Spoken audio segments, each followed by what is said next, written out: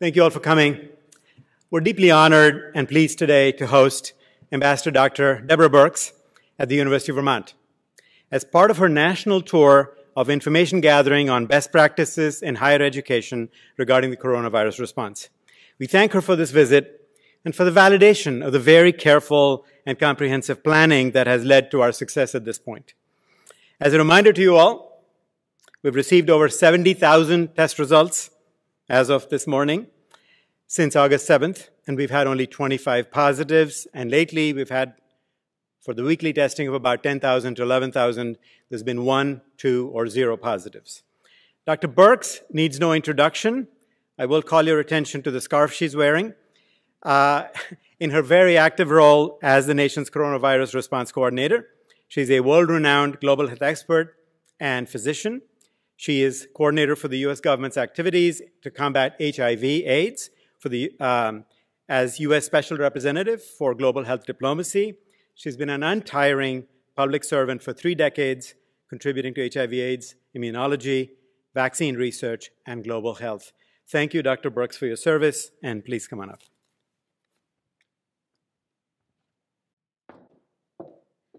Thank you. It's been a real pleasure to be here in the Northeast. We've been traveling um, since late Monday um, up through the Northeast, and where this is our 36th state, but our 26th university.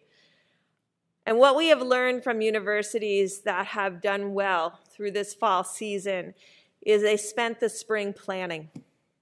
And they brought the people together in a multi-sectorial approach, as the president did, working with the governor, working with his health team, working with the mayor, working with the community, and working with the staff, faculty, and students, and creating an environment of transparency and data sharing, and also creating the sense that the data would be used for decision making and any changes that needed to occur based on that data core to every university that has done extraordinarily well and has taught us greatly has been the universities that mandated testing. The reason this has been so critically important is we have learned that weekly testing changes behavior. And it keeps, as a constant reinforcement, how important our behaviors are in ensuring that we remain negative and ensuring that we're not spreading the virus to others. It also illustrates why testing is so critically important when you're working with an age group where most of the, the illnesses are not visible. Most of the people in this age group that get infected do not have symptoms but are highly infectious to others. So this weekly testing is not only providing an assurance that there's not spread on this campus, there's not spread to the faculty, other students, and not spread to the community. And so planning combined with actions like weekly testing is leading to this success. We just want to also acknowledge yesterday we were at the Broad. Many of the samples from this university also go to the Broad. And just really thanking the Broad Institute for, I think they're providing supportive testing to over 100 universities and colleges across the upper Northwest and across the United States to really support institutions of higher education. But in addition to the testing, they were prepared for isolating students who became infected. They were prepared to quarantining students who became exposed. And they were, they were prepared to do contact tracing in partnership with the state public health. And I think all of those pieces together become critically important. I want to talk just a minute about the facilities that we were able to see, and I want to thank the provost who's been taking me throughout the campus to really see how they used every bit of space that they had to provide additional learning experiences for students so that 50% of the students could be in person in a, or in a hybrid manner model so that people really could have that in-person learning experience, but creating physical spaces. And for, for the facility staff, thank you. It really makes a difference. You've created welcoming spaces. We always like it when it says, this is where you can sit versus this is where you can't sit. I know that seems like something so small, but it's really important and empowers the people to understand and the students to understand that I can still do specific things. It's not all about a lot of red X's. There's either green dots or a clear thing that you can sit here. And I think creating physical distance but social engagement is really critical as we all work through this together. It was really important to meet with the students, to be able to talk to nursing students and medical students and undergraduates, and to really see the leadership of the Greek life group here. Um, I think you can see by the test positivity, this university has some of the lowest test positivity of any university that we have been to, yet is providing a significant number of their coursework in person. Finally, I wanted to really conclude is we've been to universities to understand how they're keeping their faculty, staff, students, and communities safe. But research institutions have a greater role than education. There's certainly their educational role is critical, but they have a critical role in research. And losing some of our researchers, researchers during the spring because of many of the universities shutting down created a real gap in our science and our understanding. Yes, COVID research and critical pathway research was ongoing, but not really understanding how to better work with individuals to understand these issues around physical distancing, understanding how we really get people to take care of themselves and their families. And these are the fundamentals that these university research that they can do. Behavioral science research, mental health research, Universities themselves are a reflection of this great land and the communities around this land, and really understanding how we remain socially engaged but physically distanced will become critical. How we understand the stressors and the anxieties that people face with this um, virus, and then how we mitigate those, just like we're mitigating viral spread. How do we mitigate the impact of this virus and its anxiety and in its stress that it's creating across this country?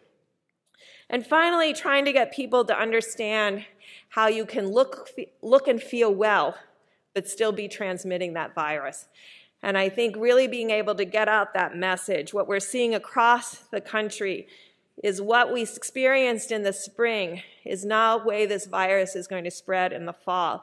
We've learned from the South that virus spreads primarily in small gatherings of friends and family and being able to get that message out and what it really will have to take of us all as a community to make sure that we protect one another, that we wear our masks, that we physically distance, that we bring those same great behaviors that we have conducted in, in public into our private lives and into our households as we move into the fall and to critical family interactions that we know will need to occur in Thanksgiving, but how to make those safe and how to really understand how to keep those safe. And I think universities can really help us in understanding how to really protect others during this fall and into the, um, the holiday seasons as they approach. So I will stop there. It's been a terrific trip. It's been really terrific here. Again, planning testing, data for decision making, and then creating an environment that promotes not only safety and good health, but does it in a positive way to show people what they can do. And those great tents outside, thank you for doing that. It shows how you can do and you can be together, even though it's a difficult time for all of us as we try to prevent spread of this virus. So I'll take a few questions. Thank you, Dr. Birx. Um, we're going to open up to questions now from the media. I'm going to start with uh, reporters who are in person here in the ballroom, um, starting with, and uh, asking everybody to please limit yourselves to one question due to the time constraints that we have. Um, Erin from WCAX, you can go first. Thank you so much for being here. Um, just wanted to know what steps should students and, and universities be taking as we get closer to the winter, the holiday season, um, you know, next semester in January, assuming that the virus is still potent and it's still a threat to us, um, what steps should students and universities be taking um, when that time of year rolls around? Great, a great question. And I think first, I think universities can help us some with that research to really understand how to reach people. How do you understand what comorbidities you have and whether you should be first in line for that vaccine because we do hope to have vaccine available. We know it will be available. We hope to have the data showing its efficacy and safety so that in that December, January, November, January timeframe, many of the most vulnerable in this country can be immunized. But really, they're already planning for the spring as I thought they would because they're in the middle of the winter and the fall and they're learning from the fall semester. And I think I was very struck talking to the students because the students represent their families and where they come from. They've come from across this country. And they also are conveying those messages of physical distancing, mask wearing, protecting one another back to their households that they come from. And I think that also is critically important. But universities can also help us do YouTube videos on how to have a safe Thanksgiving. What does it mean? Are the grandparents in a separate room? Do we always mask when we interact with our grandparents? Probably yes. How do we provide a safe zone of significant physical distancing during dinner, which may mean that they, instead of there, there would be the mature table rather than the kids' table to really provide those opportunities. And then really ensuring that we've understood what our pods are because we we have a habit if i know you you couldn't have covid.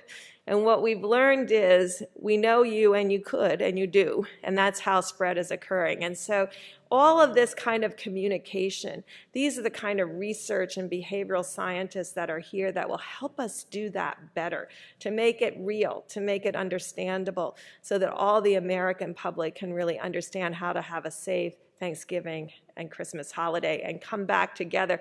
I'm sure they will test on entry again. I will tell you, every student knows how to be safe because the lowest testing we've ever seen among 18 to 22 year olds were entry test results.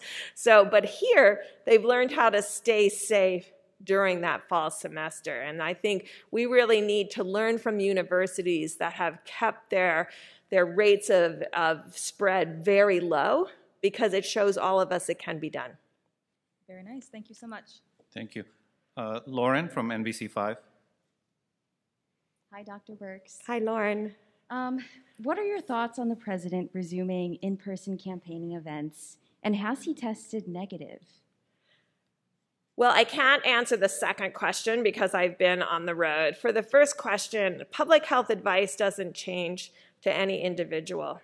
Um, we give the same advice to the president, to the vice president, to the task force members. And I think it's important we give the same advice to the American people. We know how to prevent the spread of this virus. It requires us to all change our behaviors to protect one another, to wear a mask, to physically distance, to wash our hands, and critically, when we're having gatherings, to making sure that we, in public and in private, go through that same checklist in our mind to ensure others are protected. Thank you. Jolie, Local 2244. Hi, Dr. Birx. Thank you so much for Hi. your time. Um, yesterday, uh, Governor Phil Scott talked about schools across the state returning to four days of in person learning and some schools returning to five days of in person learning. Um, I wanted to know what must the state do uh, and schools do to ensure in-person instruction lasts? Great question. And that's, that's our job as a community to ensure that children are in school. And the way you ensure that they can stay in school is do what every student has done here. That has gone out of their way to prevent any spread of the virus on the campus. Yes, they've had a few positives, but they've not had a cluster. They've not had a giant outbreak. If they can do it here, it tells us that we can do it in our communities. And if we do it in our communities, I know you know right now, um, Vermont is 51 out of 51 for the only time you want to be at the very bottom for cases and test positivity for the entire country.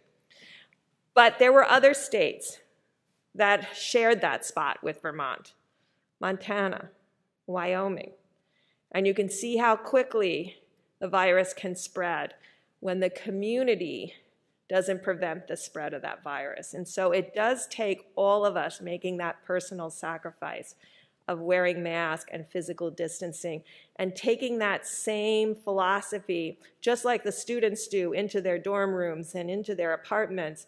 we need to take them into our households. Thank you. We'll move on to our remote participants. Tim McQuiston from Vermont Business Magazine. Hi, welcome to Vermont. Um, Thank you. you know, um, I, we're, we're here, we have some hope, but I'm wondering, you know, we have um, uh, vaccinations coming and there's good treatments, but we also have the flu season coming. When can we expect, not necessarily to be uh, back to normal, but at least back to um, um, um, out of the woods, something like that? Well, it's a very interesting question because one of the reasons Asia adapted so well to the COVID 19 prevention is because they had dealt with SARS and they had dealt with MERS and they developed a mask wearing culture where, so I hate to think that we may become mask wearing cultures during time of infectious diseases and spread. And so I'm never willing to say that we're going to abandon all of our public health interventions um, in the future because the fact that Asia had SARS and MERS, they were able to immediately move to a mask wearing, universal, mandated. They didn't have to mandate masks. They were, they just knew that that's the way you eh, prevent and spread of infectious diseases. I think what will be very important, like with the gating criteria that we put out in the middle of April, that were very clear about gates that each state needed to go through in order to open up again safely. Every state should be looking at the percentage of individuals vaccinated before they determine relaxation of any of their public health measures. Um, and that will be in a state by state. I know most of the states are in the midst of submitting their vaccine delivery plans. That will be very critical. I haven't seen any of those plans yet, but that will determine how fast as a country and how fast as each state we come back to whatever that new normal is. And it will depend very much on, de on developing that level of immunity across the population. And so each state will need to keep track of their immunization rates. And remember, many of these immunizations are two doses. And so through that time period of immunization, before you developed effective immunity, you need to still continue to take all of those precautions. And we need to continue taking those precautions until the states tell us that a significant number of the population has been immunized and so that we've achieved relative herd immunity, but through immunization. Thank you. Um, Andrea Suozzo from Seven Days. Hi there. Thanks a lot. Um, I'm hoping to to um, find out a little bit about um, what the role of rapid testing might be in monitoring close living situations um, like college campuses, um, with that advantage of catching potential cases a little earlier. Um, and I'm asking particularly in light of some of the concerns around false positives that led Nevada to halt use of two of those tests uh, the other day. Yeah, great question related. Um, so each of these tests have a different profile. There's point of care nucleic acid testing that you see in the Abbott ID Now platform, and then there's antigen testing. One of the best comparators of antigen testing has been done by the University of Arizona, where they've been comparing the Quidel antigen test to nucleic acid testing to um, antibody development and bringing those all together to really understand where the best utility of these antigen tests are. Um, and the antigen tests may correlate with the infectious period because it requires active replication and protein production by the virus. And so each of these tests have a different advantage. But I believe that one of the critical use of the antigen test, which increases what you just described, what we call the positive predictive value and the negative predictive value of a test becomes more useful if you're retesting individuals. So it becomes particularly useful in what we call surveillance testing. So in the nursing homes, repetitive test, testing of the same staff member, um, sometimes as often as twice a week, depending on whether there's virus in the community. You could use it to test K through 12 teachers um, two and three times a week not more as a reflection of what's going on in the community because the more or police you could ask them to be tested weekly the more insight we have into early community spread, just as you described, not just at the individual level, but understanding if it exists in a particular community is very helpful in getting early control of the virus before people start to get sick and go to the emergency room. Stopping this silent spread early is the key to preventing hospitalizations and fatalities. Thank you. I think that wraps it up then.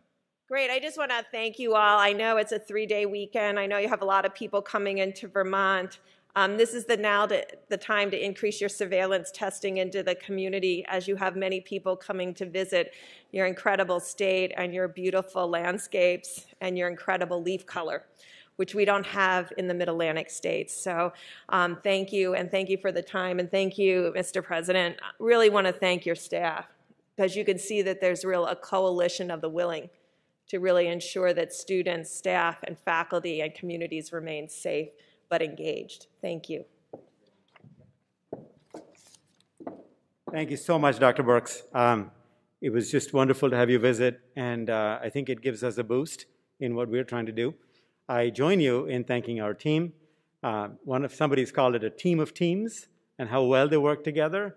And I again would just like to emphasize how much I'm impressed with our students. They didn't have to be this way. Please continue that way. But um, I'm so glad they chose to be this way, and I've taken every chance possible to thank them. And I hope that our community will keep that up too. So thank you for your visit, and um, we, we hope for that vaccine and that out of the woods thing soon. Okay, thanks. Thanks all for coming.